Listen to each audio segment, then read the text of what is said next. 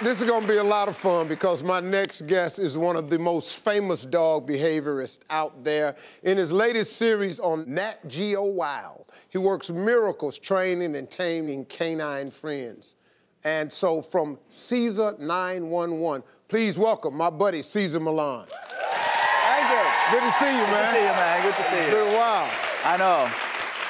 How do you do what you do? I, I just don't understand it. Oh, it's actually very simple because I was born and raised in Mexico, and in Mexico the perception is different. So in America the dog is human, and in Mexico the dog is a dog. So therefore we respect. Could you say that one more time, please? I'm gonna, I'm gonna put it to you much easier. Dogs in third world country are skinny, but they don't have psychological problems. Dogs in America are chunky, and I get to have a TV show.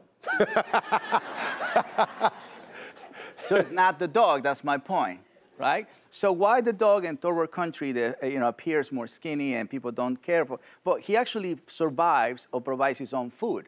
Dog in America, the food comes to him, so the dog doesn't have to work for food right? So the dog uh, gets praised by everything. So when people wake up in the morning, this is what they do. You wanna go pee pee? as soon as they wake up. So they go from the bedroom to the sliding door, and then they have a ritual. Pee pee, let's go pee pee, pee pee. Yes! Yes! Yeah.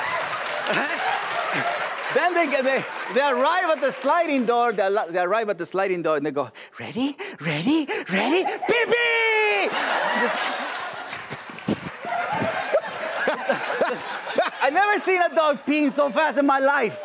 Normally, dogs take their time to pee. You know, they smell, then they pee, they smell, then they pee. But when a dog is waking up in the morning, you wanna go pee? He pees really fast.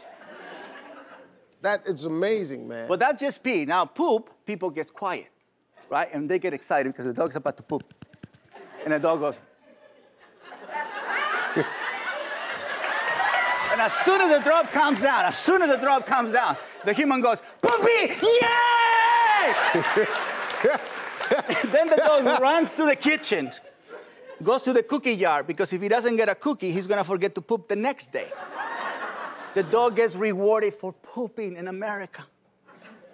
You understand what I'm talking about? I know exactly what you're talking about. I'm finna cut all this out in my house. You've helped Oprah, Yes. you've helped Patti LaBelle, Yes. but you say you, you help train people. Well, when I helped Miss Oprah, you know, as we all know, she's calm and assertive, right? She's calm and confident. But when she went into the dog world, she became a source of fear. So I come in and say, you know, very, very, um, you know, I got to be very um, careful about it because I don't want to lose my job.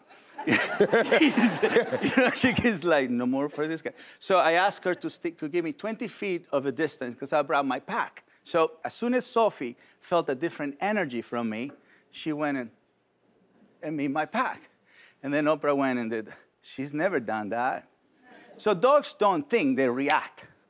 Sophie didn't know I was Cesar Millan. Sophie just knew that my energy was different. So the first thing people have to change is their state of mind. World transformation begins with self transformation. So your world around you will change if you transform Yeah. how you view the world. Exactly. Now, folks, now after you learn this information, please don't sell your dog.